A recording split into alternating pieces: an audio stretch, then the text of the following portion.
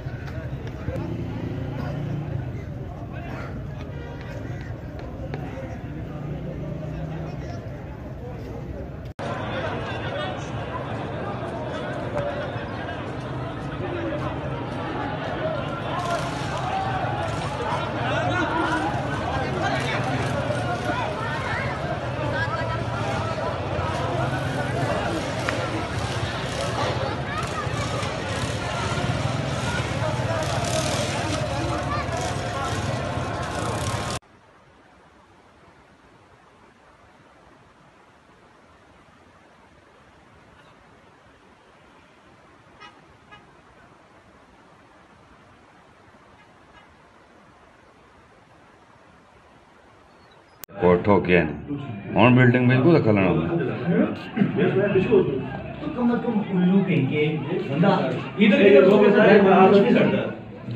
یہ دیکھو تو نا یہ دیکھو یہ دیکھو یہ کیا کر رہے ہیں تو مووی بڑا بنا رہی ہوں بنا رہی ہوں کلوز کریں کلوز کریں قریب کریں اس کو ایسے ایسے اور قریب کریں اور قریب کر مت تاجی نشاندہی دے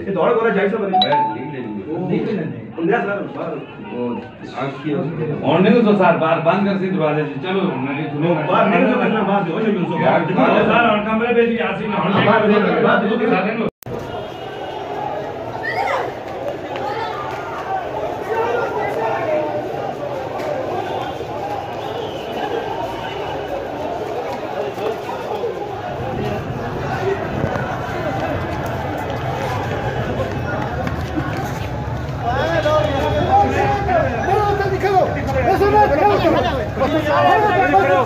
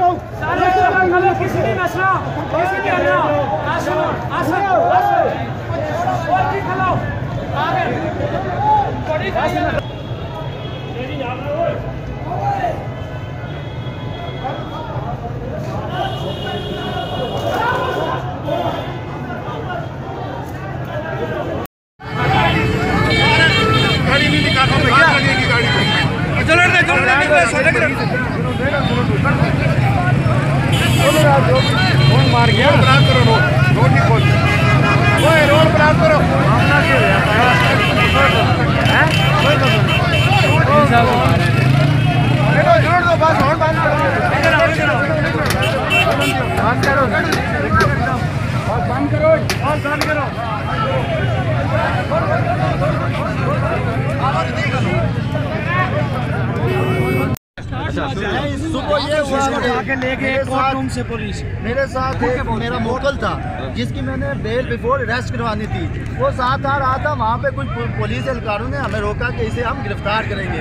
اس پہ میں نے کہا اس کے میں ضمانت کے لیے لے جا رہا ہوں۔ اس پہ دو تین لوگوں سے میری ہلکی پھلکی تلق کلامی ہوئی۔ اندر سے ریزرو میں سے پندرہ سے بیس اشخاص آئے۔ جنہوں نے مجھے وہاں پہ مارا پہلے۔ وہاں سے میں بھاگا۔ وہاں سے میں کورٹ روم میں پہنچا کورٹ روم کے آتے میں۔ وہاں سے تقریباً چار سے پانچ پولیس اہلکار گئے وہاں سے اٹھا کے لے کے گئے ریزرو میں۔ اندر جا کے انہوں نے پھر مجھ پہ تشدد کیا ہے۔ وہاں پہ اندر اتنی ناجائز قسم کی انہوں نے بکلا کو، خاص کر کے بکلا کمیونٹی کو گالم گلوچ کی ہے۔ میں سمجھتا ہوں یہ ریاست جو ہے، یہ ریاست جو ہے، ان کے ہاتھوں میں انہوں نے لے لی ہوئی ہے۔ جو ریاض مغل صاحب ایس بی ہیں وہ وہاں سے اندر آئے۔ انہوں نے اس طرح کے الفاظ کا استعمال کیا وکلا کے حوالے سے میرے حوالے سے کہ آپ لوگوں نے پتہ نہیں کیا بنا کے رکھا ہوا ہے۔ آپ کا ایک تو آپ کا پورا نام کیا ہے؟ راجہ زیارف حسین خان۔ میں یہاں پارٹی کا ممبر بھی ہوں ممبر مجلس عاملہ ہوں سینٹرل ایگزیکٹو کمیٹی میں۔ تو آپ کے حوالے سینٹر بار ایسوسیشن کے جو وکلا ہیں سینئر وکلا ہیں انہوں نے ریاض مغل صاحب کی جو یہاں مظفر آباد میں پریس کلب پر تشدد کا معاملہ کیا تھا اور اس ریاستی دہشت گردی کی تھی۔ حوالے سے ان کی یہاں سے تبدیلی کے حوالے سے ایک پٹیشن ہائی کورٹ میں دائر کر رکھی ہے، جس کو انہوں نے ہمیشہ وکلا کے لیے کوئی بھی وکیل ہماری بار کا ممبر ہو ریاض مغل صاحب اپنی انا کا مسئلہ بنا لیتے ہیں اور وہ بانے ڈھونڈتے ہیں کہ ان اداروں پہ حملہ کر کے ان کو ان کو بے تقریر کیا جائے۔ میں سمجھتا ہوں اس طرح کے میں یہ تاریخ آزادی کشمیر کا بیس کیمپ ہے۔